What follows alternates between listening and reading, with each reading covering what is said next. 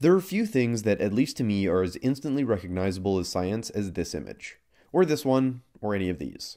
You may not know what's going on, but you probably recognize that A, it's something to do with biology, B, it's some sort of test, and C, it's both alien and beautiful at the same time.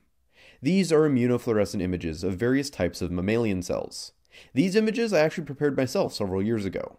I got a chance to make them while I was studying in university, and crazy lab coordinator aside, it was honestly probably my favorite lab. There are two things that make these images possible. The first is a marvel of chemical and biological engineering in the form of fluorescently labeled antibodies, which are special proteins that can be targeted to stick to essentially any protein in a cell and fluoresce under UV light. The second is a special microscope, which can expose the sample to UV light to make it glow, and then only capture the glow without overwhelming the camera with the pump UV light. Combined, this technique lets you map out the location of proteins in preserved cells, or watch them move around as the cell functions to study their interactions. Now, I don't have the reagents to do immunofluorescent staining, as they can be very expensive and specific, and I don't work with mammalian cells these days. But what I do have is various organisms that have been genetically modified to produce fluorescent proteins. A fluorescent microscope would be great to have so that I could look at the individual cells and see which ones are actually expressing the gene properly and in future experiments I can use these proteins as a reporter so that I'll know just by looking at them that glowing cells must be producing whatever other protein I'm having them make. Some groups use a similar idea to map out different kinds of cells in a piece of tissue, like these slices of brain. Various neuron types were modified to produce fluorescent proteins so their location and interactions could be studied. But fluorescent microscopes are very, very expensive. Even the cheap ones cost thousands. So I've spent months attempting to modify my cheap $200 scope to function as a fluorescent microscope. The final mod is actually very simple and cheap, costing all of 20 bucks, but finding the right combination of light sources and filters was tricky. Also, a small caveat is that you also need a camera that can take long exposures, but it's assumed that you have one, so I'm not counting that in the cost. I'm also not counting the microscope itself in the cost. Other than trial and error finding the right light sources and filters, the thing that really slowed me down a lot was that most filters start letting light through at around the greenish wavelengths. So using GFP as my test molecule, which glows in that range, made it really hard to see when anything was actually happening. The issue is that most cheap UV light sources bleed light of non-UV wavelengths that can easily blot out the actual fluorescence.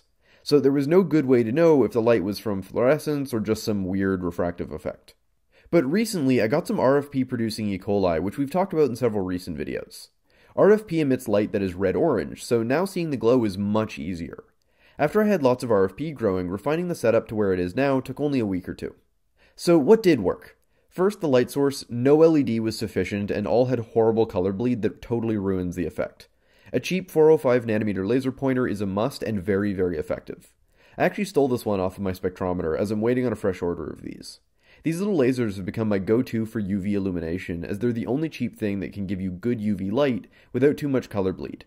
They're not perfect, far from it, but they only cost $2 a pop if you buy them from China. I recently picked up 10 that I'm waiting for in the mail. As for the filter, I used a cheap dichroic mirror off of eBay. Dichroic mirrors are really weird and probably deserve a video of their own, but honestly, even to the people who study optics, they're basically black magic. They're made by depositing and layering different types of semiconductors of specific thicknesses onto a piece of glass. The result is that you can make them reflect or pass whatever wavelengths of light you want just by messing with layer and composition.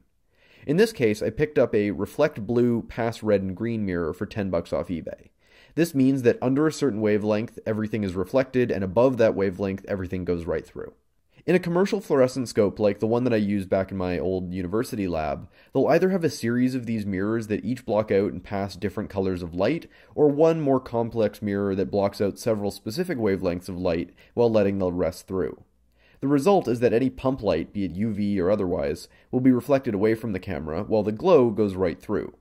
In combination with high quality light sources, these high quality dichroics let you use a whole range of fluorescent molecules, all the way from blue to red. The cheap dichroic I'll be using here isn't nearly as good, but will still work for most fluorescent molecules that are green to red. The only ones that you can't use are ones that glow blue, like DAPI, a common nucleic acid stain used to highlight the nucleus of a cell. But this is dealt with by just using a different nucleic acid stain that glows green, orange, red, or anything in between.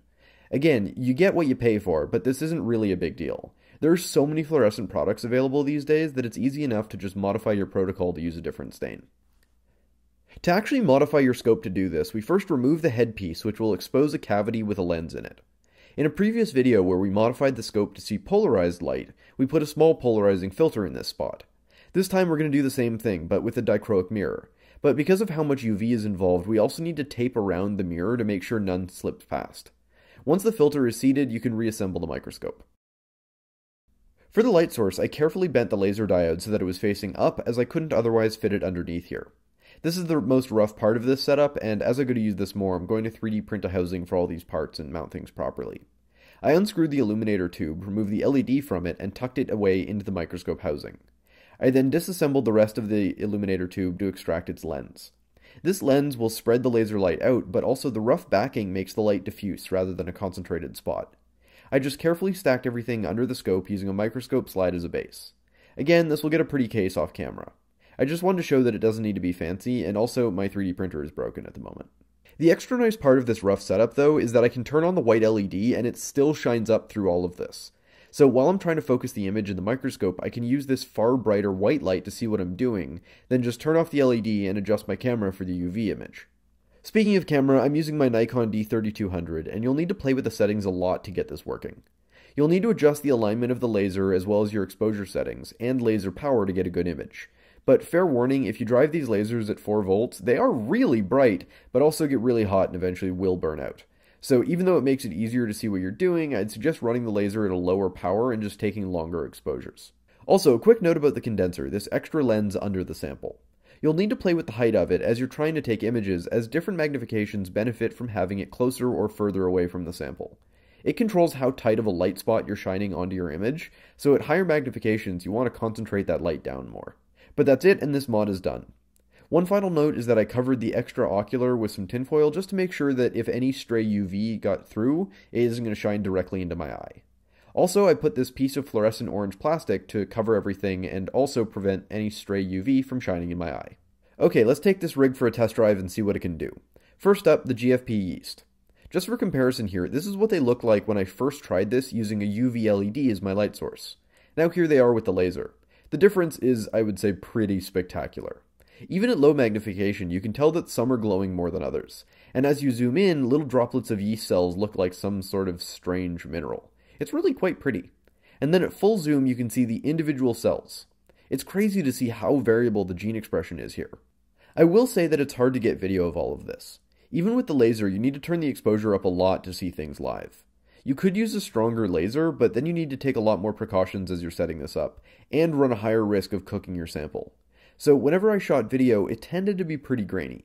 Hence why I stuck to taking nice long exposures once I'd found a spot that I was interested in imaging. Next, here's some of the RFP E. coli. At low magnification, the glow is pretty intense and vibrant, but as you zoom in, it's clear that most of that glow comes from clusters of cells. The setup just isn't very good at picking out the individual bacteria glowing, as the glow is just so dim. Here's one view, first in white light so that you can see some individual cells, and then here it is again in UV. There's maybe some hint of something, but the other issue is that at these magnifications, focusing can be very challenging, as the white light focus and the fluorescent focus isn't quite the same. And the amount of light is so low that even at max ISO on my camera, seeing well enough to actually focus this is a challenge. That's the price of doing this with a cheapo scope. Here's one of the better images that I've got of, of just a few bacteria. The glow is faint, but definitely there, though it still seems like the glow is coming from maybe half a dozen bacteria clustered together. This is one of many reasons I like working with yeast. They're so much bigger that it makes it easier to work with and analyze. But that's basically all there is to it. Fluorescent microscopy is no longer something that is confined to expensive university labs, and now with only a few extra dollars of hardware, a cheap entry level scope can be used as a very reasonable fluorescent scope. And I'm sure that with more effort, this could be improved further. Before I close out, I want to take a moment to thank the patrons of this channel who make these projects possible. As I mentioned, I've spent months tinkering with this, and my Patreon supporters and channel members are the main thing that give me the freedom to take the time to figure out hard problems like this. So thank you again, and if you'd like to help keep the flow of videos coming, then consider supporting the channel in these near weekly deep dives into the weird world of science and engineering. And that's where I'll end this video. As always, you know the drill, like, leave me a comment, and subscribe and ring the bell to see when I post new videos. If you'd like to see the projects long before they end up in videos, be sure to head over to my other social media pages. I'm a bit of a shutterbug, so Instagram tends to be the most project focused content. That's all for now, and I'll see you next time.